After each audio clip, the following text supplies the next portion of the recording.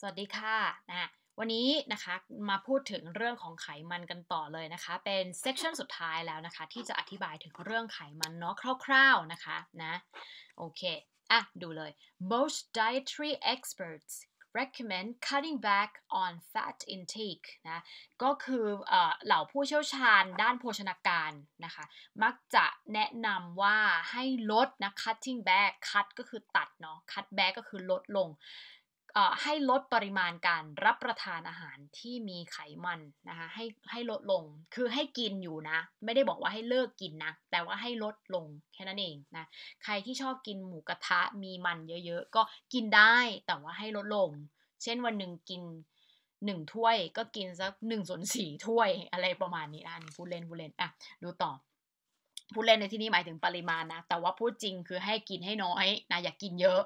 this is sound advice นนี่คือเป็นคำแนะนำที่ sound มาก sound แปลว่ามีเหตุผลนะ sound ไม่ได้แปลว่าเสียงอย่างเดียวนะ แปลว่าฟังดูดีอะเออเป็นเหตุผลที่ฟังดูดี เป็น sound advice for athletes นะสำหรับนักกีฬานะคะ as it allows them to consume a greater proportion of energy intake from carbohydrates to maintain glycogen stores to support training and competition เพราะว่าการกินไขมันน้อยเนี่ย มันก็จะให้พวกเขา มันจะทำให้พวกเขาสามารถที่จะ consume แปลว่าบริโภคนะคะบริโภค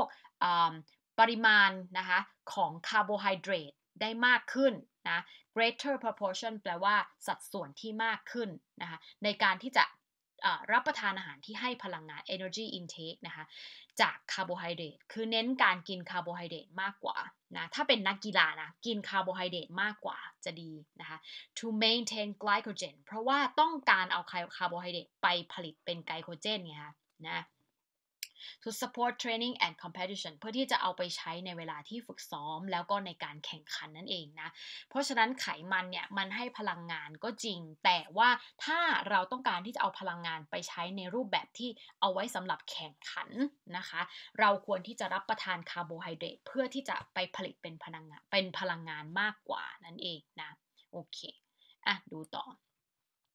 The primary function of fat is to provide a concentrated source of energy, forming your body's largest potential energy store นะ primary function หน้าที่หลัก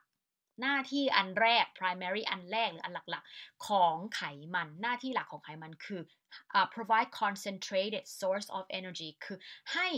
เป็นแหล่งพลังงานที่เข้มข้นคำว่า concentrated แปลว่าเข้มข้น เจ้มจนนะเป็นพลังงานล้วนๆเลย เพื่อที่จะทำให้นะ from your body largest potential energy store เป็นแหล่งเก็บกักพลังงานที่ทรงประสิทธิภาพที่สุดในร่างกายของเรานะคะก็ไขมันอะมันช่วยมากในในเวลาที่เราแบบว่าขาดแคลนอาหาร หรือว่าอยู่ในสภาวะอากาศที่ ค่อนข้างหนาวจัดอะไรอย่างเงี้ยหนาวจัดร้อนจัดพวกเนี้ยนะไขมันก็จะช่วยเราได้มากนะคะมากที่สุดเลย เพราะว่า มันแบบว่าให้พลังงานเยอะไงไขมันนะให้พลังงานตั้งเท่าไหร่เก้ากรัมเก้ากรัมต่อ ไม่ใช่เก้ากรัมเก้ากิโลแคลต่อหนึ่งกรัมนะอะเออนี่ไงเก้าแคลไม่ใช่เก้ากิโลแคลเก้าแคลอรี่ต่อกรัมนะเออก็อยู่ตรงนี้แหละ ทำไมไม่มอง อะ ดูต่อ even the leanest of individuals will have large amounts of energy stored as fat แม้กระทั่ง even แม้กระทั่ง the leanest leanness แปลว่าผอมมากๆ แบบ lean มากๆ ไม่ใช่ผอมเขาเรียกอะไร แบบ lean อะคนไทยเขาเรียกอะไรเฮ้คือเป็นคนที่แบบไม่มีไขมันเลยอะอินดิวิโดแปลว่าบุคคล บุคคลที่แบบ lean มากๆ คือแทบไม่มีไขมันเลยเนี่ย ก็ยังจะมี large amounts of energy store as fat ก็ยังจะต้องมีไขมันอยู่ในร่างกายจำไว้เลยว่ามนุษย์ไม่สามารถขาดไขมันได้นะคะ ขาดไขมันจะทำให้ร่างกายโทมแล้วมันทำอะไรไม่ได้เลยนะ ดังนั้นมันต้องมีบ้าง ขนาดคนที่ว่าผอมมากๆ ก็ยังมีไขมันอยู่อาจจะเกิดจากการที่เขารับประทานอาหารอย่างอื่น แล้วมันแปลงเป็นไขมันอะไรก็แล้วแต่แต่ไขมันขาดไม่ได้นะ Fat is more than twice as energy dense as other macronutrients นะไขมันเนี่ยนะมัน energy dense คือ dense แปลว่าหนาแน่นใช่ไหมก็คือให้ความมวลของ energy ของพลังงานหนาแน่นเป็น 2 เท่าเลย ถ้าเทียบกับ macronutrients อื่น ๆ ถ้าเทียบกับไอตัวปริมาณของเออเขาเรียกอะไร อาหารที่เราต้องกินในปริมาณมากนะคะ อย่างพวกคาร์โบไฮเดรตหรือโปรตีนอย่างเงี้ยไขมันเนี่ยให้เยอะกว่า นะ ซึ่งตะกี้ครูพูดไปแล้ว yielding 9 calories per gram yield แปลว่าให้นะ หรือว่าผลิดอกออกผลก็ได้ แปลว่าแบบออกมาปลดปล่อยพลังงานออกมา ให้พลังงานมา 9 แคลอรี่ต่อกรัมเลยทีเดียวนะคะถือว่าเยอะมากนะคะ fats protect and cushion your vital organs นอกจากนั้นไขมันทำหน้าที่ปกป้อง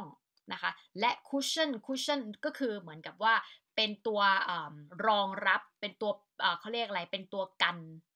เป็นฟองน้ำนุ่มๆเออที่เอาไว้สำหรับป้องกัน vital organs vital แปลว่าจะสำคัญ organs คืออวัยวะ คือพูดง่ายๆ ไขมันเนี่ยมันจะคอยแทรกอยู่ตามส่วนต่างๆ เพื่อที่จะไม่ทำให้การเคลื่อนไหว หรืออวัยวะต่างๆ มันกระทบกระเทือนกัน ถ้ามันกระทบกันมันอาจจะแหกอ่อแหกอะมีทั้งแหก มีทั้งแตก มีทั้งหักด้วยนะ เพราะฉะนั้นไขมันมันก็จะไปแทรกอยู่ตามส่วนต่างๆ เพื่อที่จะทำให้การเคลื่อนไหว การใช้ชีวิตต่างๆเนี่ยมันก็สมูทมากขึ้น เพราะว่ามันไม่กระทบกระแทกกันใช่ไหมคะนะ provide structural material for cells นอกจากนั้นก็ยังให้มันเป็นเหมือนกับ สิ่งที่ทำให้เซลล์เนี่ยมันยังคงรูปร่างอยู่ได้นะไขมันก็ห่อหุ้มเซลล์ไว้ มันก็เลยทำให้เซลล์มันยังคงเป็นรูปร่างอยู่ and act as an insulator insulator ก็แปลว่าไอ้ตัวเขาเรียกอะไร insulate แปลว่าเหมือนกับแบบคอยปรับอุณหภูมินะคะและยังทำหน้าที่เป็นตัวที่คอยปรับอุณหภูมิในร่างกายด้วย เวลาที่หนาวไขมันก็จะทำหน้าที่คอย ทำให้ร่างกายอบอุ่นใช่ไหมคะ แต่ถ้าเกิดเวลาที่ร้อนไขมันมันก็จะไม่ไม่มีหน้าที่มาก มันก็จะลดบทบาทลง มันก็อาจไปทำหน้าที่อย่างอื่นแทนก็ว่าไปเนาะ Animal fats are source of the fat soluble vitamins A D E and K นะคะไขมันจากสัตว์ animal fats เป็นแหล่ง นะคะ เป็นแหล่งของ fat soluble vitamin คือเป็นแหล่งที่ให้วิตามินที่ละลายในไขมันคำว่า soluble แปลว่าละลายนะ ไขเขาเรียกว่าเป็นวิตามินเนี่ย A D E K เนี่ย เวลาตอนที่ครูเรียนครูจะเรียกว่าวิตามินอเด็กนะ A D E K อเด็ก วิตามินสีอันนี้มันไม่สามารถละลายได้ในน้ำ เออเรื่องวิตามินละลายได้ในน้ำกับละลายได้ในไขมันเนี่ยเดี๋ยวค่อยว่ากันนะคะ แต่วิตามิน A D E K 4ตัวนี้นะจะสามารถละลายได้เฉพาะในไขมันเท่านั้นนะและไขมันที่เราจะสามารถที่จะแบบว่าทำงานได้ดีร่วมกับวิตามินเหล่านี้ก็คือไขมันที่มาจากสัตว์นั่นเอง fats add flavor and texture to foods นอกจากนั้นไขมันเนี่ยก็เพิ่มนะ add ก็เพิ่มใช่ไหมเพิ่มรสชาติ flavor คือรสชาตินั่นเองนะเขียนว่ารสก็พอเพิ่มรสและเพิ่ม texture ก็คือเนื้อสัมผัสนะคะนะลองนึกดูว่าแบบเวลาเรากินอะไรที่มันเป็นเป็นมันๆเนาะเอ้ยอร่อยเลยแหละน้ำลายสอเลย โอ้มันต้องแบบอร่อยแน่นอนนะให้กับอาหาร which can be the reason for over consumption ซึ่ง เนี่ยสองเหตุผลเนี่ยให้รสชาติให้เนื้อสัมผัส มันจะเป็นเหตุผลให้สำหรับคนที่ over consumption ก็คือกินเยอะเกินไป มันอร่อยใช่ไหมหยุดกินไม่ได้นั่นเองนะคะอะ